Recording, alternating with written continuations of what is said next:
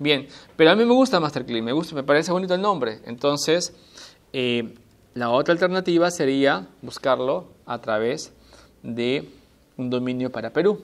Y en este caso la entidad que vende es la Red Científica Peruana, cuya página también se llama punto, .pe.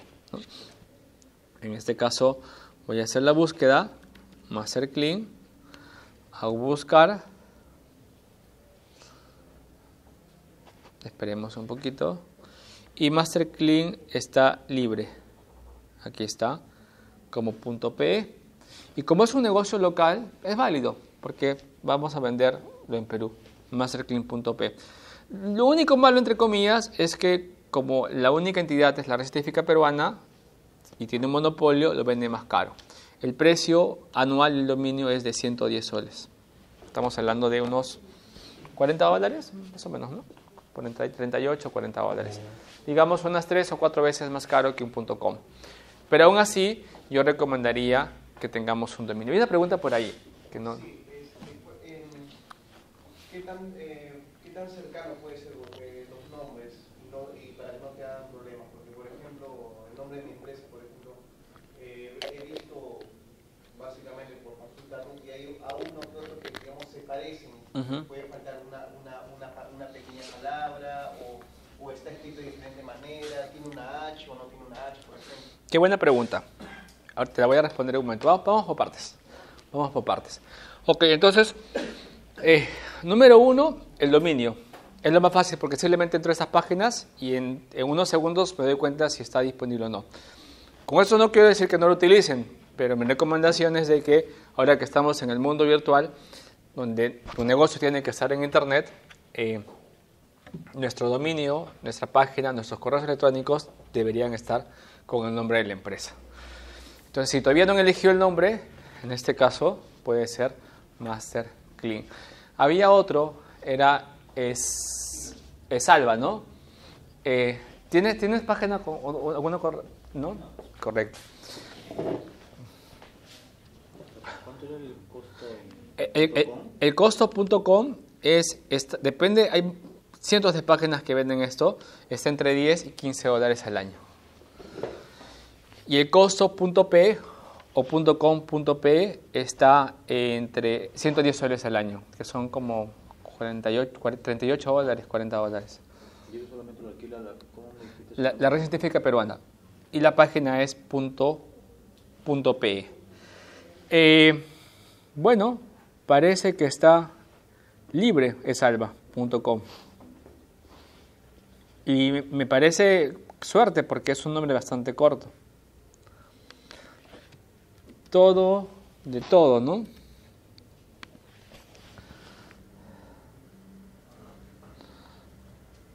Bueno, todo de todo está libre, pero te cuesta un poquito caro. ¿Quieres ver cuánto te cuesta? O mejor lo, lo oculto. 2.869 dólares. Porque hay empresas que se dedican a buscar nombres como que digamos simpáticos y los compran y de ahí los ponen en estas páginas para esperar a ver quién los compra y ponen precios. Y a veces, a veces les ligan, ¿no? Por ejemplo, Facebook, si ustedes vieron la película, inicialmente se llamaba de Facebook, con D adelante. Y compraron, eh, tengo entendido, Facebook a otra empresa por 4 millones de dólares que de repente era un chico que tenía su página en Facebook, ¿no? 4 millones de dólares por el valor de la marca, para que vean lo, que, lo que, las cosas que pueden pasar. ¿no? Eh, bien, entonces yo recomendaría que sea .com, pero si no, .p. Si alguien me pregunta, ¿punto.p eh, te genera algún problema? No, Básicamente es un tema estético. La cantidad de visitas que tenga tu página no va a depender del dominio. Va a depender de otros factores llamados posicionamiento o SEO, que lo vamos a ver también hoy día. Así que tú adelante, ¿no? Elige todo por todo, todo de todo punto P está disponible. Así que ese podría ser el nombre. Porque va a ser para el mercado peruano, ¿no es cierto? Perfecto. Correcto. Bien.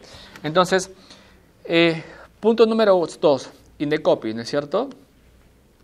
Justo hicimos una búsqueda hace, eh, hace, hace unos, esta semana. Les voy a mostrar.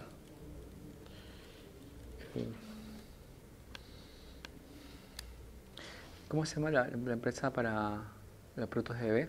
¿Está ayer?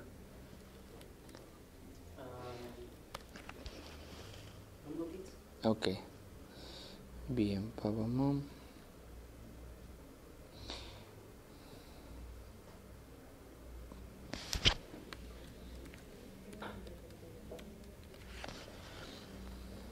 Justo eh,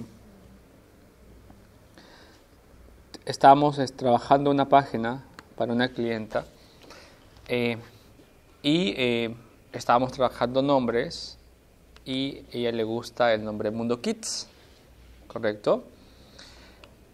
Nosotros, antes de avanzar con la página, antes de, hacer el, todo el trabajo video corporativo, redes sociales, le dije, mejor hacemos una búsqueda, ¿te parece? Porque de repente, de repente eh, está, está tomado, ¿no? Entonces, vayamos un poquito a de copio, ¿correcto? algunas definiciones. Eh, copy te dice lo siguiente. Si tú quieres, puedes registrar el nombre de una empresa. Se le conoce esto como nombre comercial. O también puedes registrar el nombre de productos, lo que se conoce como marca comercial. McDonald's sería un nombre comercial y McCheese o lo que fuera sería una marca comercial. ¿Correcto? En este caso, en este caso, la mayoría de nosotros lo que va a registrar más que un producto va a ser la empresa, el negocio en sí, el car wash, el, spa. La búsqueda del nombre se le conoce como búsqueda de antecedentes. Si ustedes solamente quieren buscar el nombre sin antes tener un logo o una marca, se hace una búsqueda de antecedentes fonéticos. ¿Correcto? Pero si ustedes ya tienen el logo y quieren que también se evalúe eh, si no hay similitud con el, logo y con los colores, se hace una búsqueda de antecedentes figurativos. ¿Correcto? Eh, y el costo está desactualizado ahí, es 1.07% de una UIT. Que eh, voy a sacarlo ahorita. estamos hablando de 40.66 soles. 40 soles. ¿Correcto? Bien. En este caso, en este caso con nuestra alumna, bueno, aquí cliente en este caso, hicimos una búsqueda, ¿correcto? Nosotros ya lo, teníamos ya previsto. Happy Kids nos parecía un nombre bastante comercial, bastante conocido, pero de todas maneras ella quería hacer el intento, lo cual es válido. Hicimos una búsqueda fonética, ven acá, ¿correcto? Y esto se hace instantáneo, el mismo día te lo entrega. Cuando tú haces una búsqueda en the copy, tú tienes que hacer una búsqueda eh, por clase. ¿Qué significa eso?